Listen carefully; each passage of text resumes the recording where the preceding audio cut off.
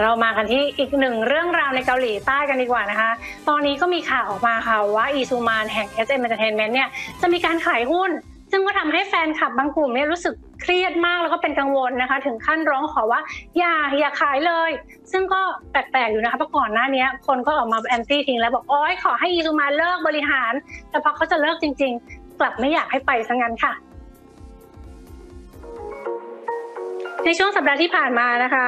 ชื่อคนดังวงการเพลงเคป๊อปที่ปรากฏบนเทรนด์ทวิตเตอร์แล้วก็โลกโซเชียลอย่างต่อเนื่อง ก็มีชื่อของอีซูมานด้วยค่ะ ซึ่งเป็นศิลปิน โปรดิวเซอร์ แล้วก็ผู้ก่อตั้งบริษัท SM Entertainment ค่ายเพลงที่ถูกยกเป็นมหาอำนาจเคป๊อป เพราะโด่งดังนะคะส่งอิทธิพลมายาวนานเลย ตั้งแต่วง H.O.T นะคะชินฮวา TVXQ นะคะหรือว่าดงบังชินกินั่นเอง Super Junior SHINee EXO NCT รวมถึง Girl Group อย่าง Girl Generation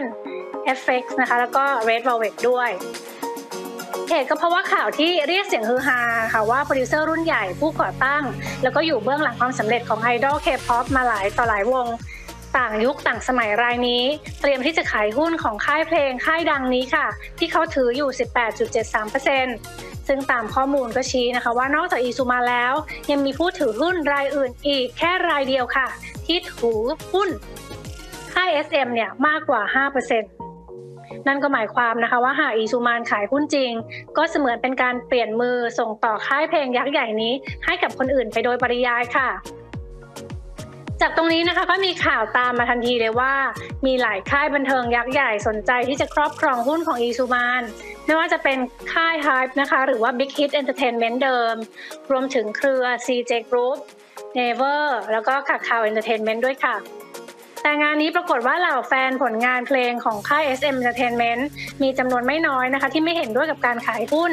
จนเป็นที่มาให้เกิดแฮชแท็ก ที่แฟนๆเนี่ยขอโทษ แล้วก็ขอร้องให้อีซูมานกลับมา หรือพูดง่าย ๆ ว่าไม่อยากให้ขายหุ้นให้กับใครอื่น หลังจากที่ก่อนหน้านี้มีแฟนคลับไม่น้อยไม่พอใจ